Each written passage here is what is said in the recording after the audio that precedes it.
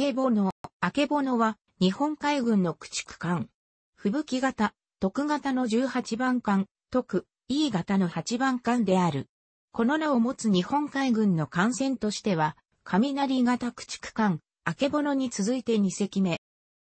あけぼのは大阪市の藤永田造船所で建造された。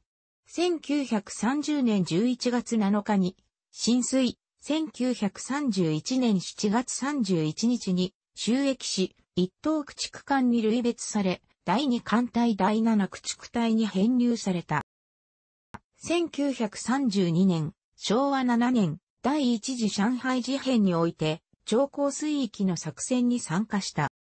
1935年、昭和10年9月26日の第4艦隊事件では、艦尾が歪み亀裂が生じる被害を受けた。日中戦争に際しては1937年、昭和12年以降、上海、広州湾上陸作戦、仏印の作戦に参加した。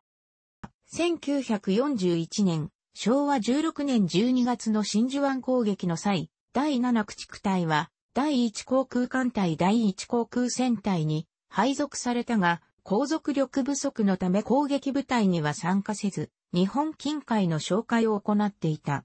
ただし第七駆逐隊司令官、小西要大佐が指揮する第七駆逐隊、第一小隊、塩、さざ波は、真珠湾攻撃と並行してミッドウェイ島砲撃を実施している。1942年1月13日、空母、飛竜、総流を護衛して、呉を出港し、1月31日、アンボン上陸作戦を支援した。2月6日、マカッサル攻略作戦に第11航空戦隊直江として参加した。スラバヤ沖海戦の3月1日昼戦にて、臨検しようとしていたオランダ病院戦と誤認して、永住順、エクセターに接近し、攻撃を受けた。1140、アケボノは、射撃を開始。救援を求めるが、第3艦隊は、アケボノに対し、敵艦隊を誘致、拘束するよう命じた。1145燃料も尽きかけていた。アケボノは、エクセターに突撃を開始する。1148から50第3艦隊到着。雷がアケボノに接近する。この時雷の乗組員が水中に包まれるアケボノを見ている。アケボノは誘導のため反転した。駆けつけた領艦により、エクセター他2隻は撃沈された。3月末に修理のため横須賀海軍交渉へ帰投した。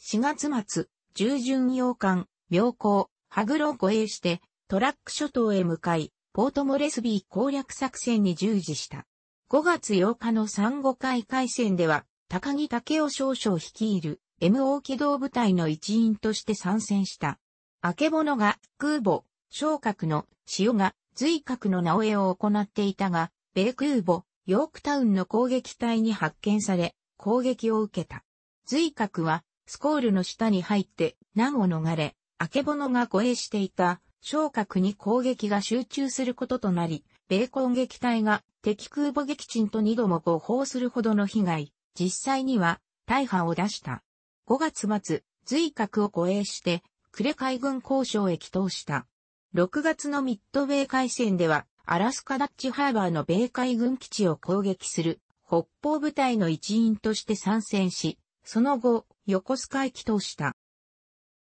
その後、各種南方侵攻作戦や北方、南方での海上護衛、輸送作戦に従事した。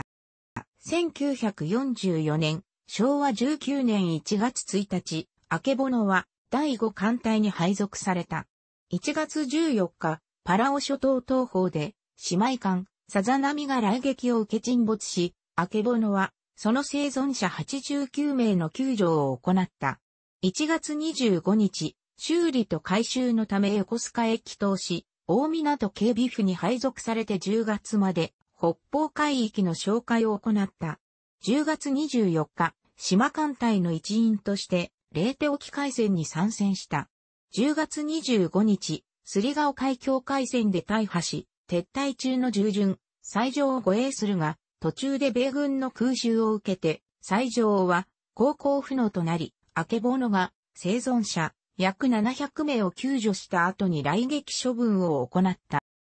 10月31日、上海から到着した陸軍第一師団をオルモックへ輸送するためマニラを出港した第二次多号作戦。11月1日にオルモックに到着した。揚陸がほぼ完了した翌11月2日、敵の空襲を受けのと丸が爆撃を受け沈没したが、輸送作戦はほぼ成功し、11月4日、マニラへ帰投した。11月5日、マニラ湾一帯を米軍が空襲し、停泊中のアケボノは直撃弾2発を受けて炎上、航行不能となった。このため、参加予定だった第4次多号作戦に参加できず、その代役として、中装が第4次輸送部隊に参加した。アケボノは、キャビテ桟橋の第103工作部の修理を受けるべく、キャビテ港第2桟橋に係留された。この時、機関故障を起こした 2ET 型戦時標準タンカーの第5蓬莱丸、蓬莱タンカー834総トンが同桟橋に開港されており、11月11日には第4次多号作戦に参加中に空襲を受け、監視切断を起こしていた収装も同桟橋に開港され、岸壁から第5蓬莱丸、明けぼの収装の順番で係留されていた。その前日、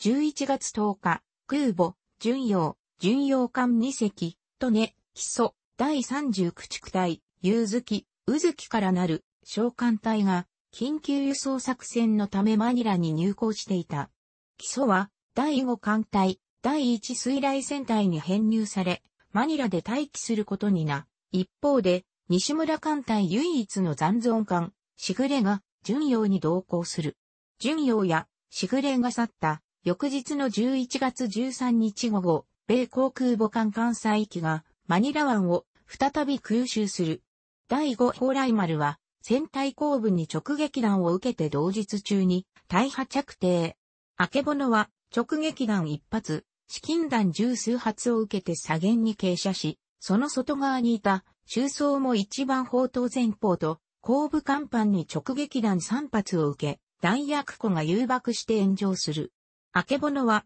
翌14日朝に環境部のみを海面上に露出させて着底し、中層も同じ14日朝に右舷を下にして転覆し、環境部が海底に埋まった状態で着底した。乗員48人が戦死し、43人が負傷した。また、同湾に停泊していた、初春、沖波も空襲により、沈没、基礎が着底した。1945年、昭和20年1月10日、駆逐艦、あけぼのは初雪型駆逐艦、第7駆逐隊、帝国駆逐艦席のそれぞれから除籍された。5月5日、第7駆逐隊は解体される。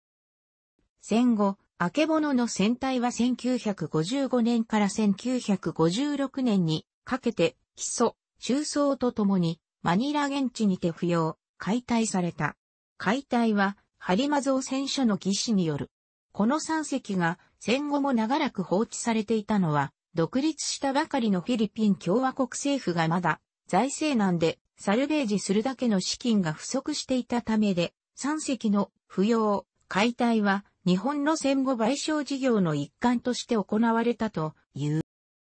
楽しくご覧になりましたら、購読と良いです。クリックしてください。